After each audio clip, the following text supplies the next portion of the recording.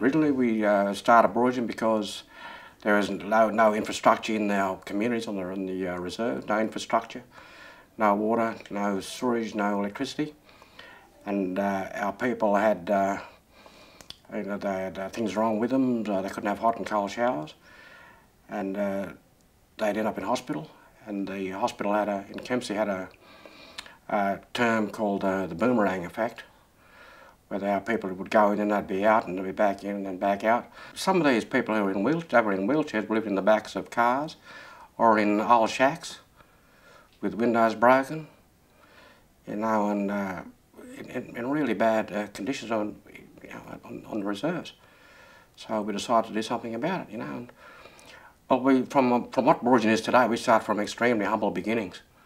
And I'm really pleased and proud to say that, and I'm really pleased to be now the co-founder of Booroongen Djugun with Val March. I mean, when we first started off, no one would ever thought that, you know, what we talked about would even get off the ground. I thought it'd be a white elephant on the hill, because back in those days, I mean, there was a lot of uh, organisations falling over. There was failures. The government would set up Aboriginal organisations to fail, and I make no uh, bones about that. And uh, that's what people thought would happen to this place.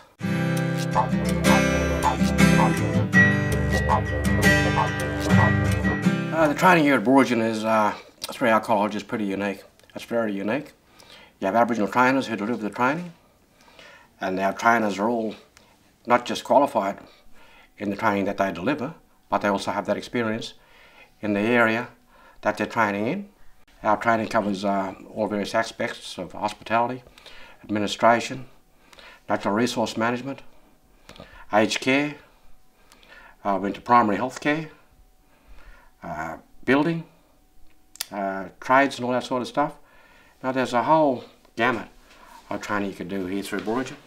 With an aged care certificate you can become uh, the you know aged care workers or you, from there you can go into administration and but or, or, hopefully go into you know the assistant nursing and rural nursing and then become an RN now it should be a, a good pathway for some young men and women because there's a huge demand for uh, Aboriginal nurses.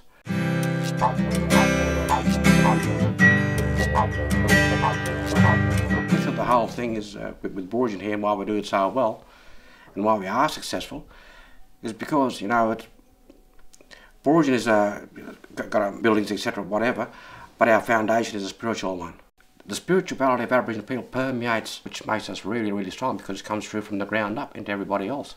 And people can feel that when they come here. And it's the same with health and with the training, you know, because it, all uh, interlaces and, and, and becomes one.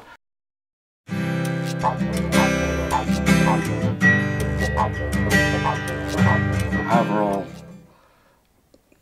uh, scheme of things, you know, we've done wonders here, employment, training and, you know, and creation. Know, a facility which is, you know, owned by the community, driven by the communities, community controlled.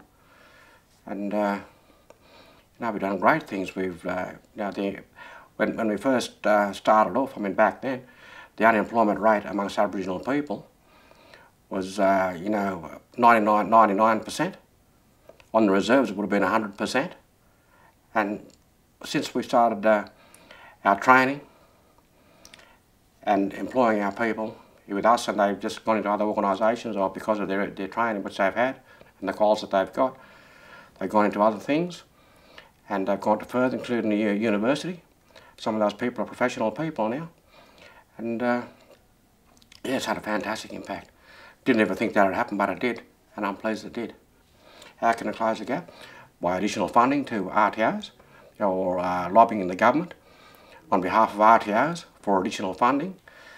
In the, the case of, uh, you know, uh, like Booroongen for, for base funding, and uh, more staffing positions because as the, uh, uh, the, the demand grows for more training, more qualified Aboriginal people in the industry, and it's going to happen, it creates more jobs within the RTOs itself and more positions. So they go hand in hand. So now more money from the government now through Close the Gap and other initiatives that would be a benefit, and a benefit not just to, to our services but to other, other Aboriginal services across Australia. If they want to close the gap, let's be fair income about it.